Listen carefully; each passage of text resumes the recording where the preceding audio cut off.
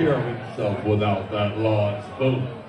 For a wounded man shall say to his assailant, If I die, you are forgiven.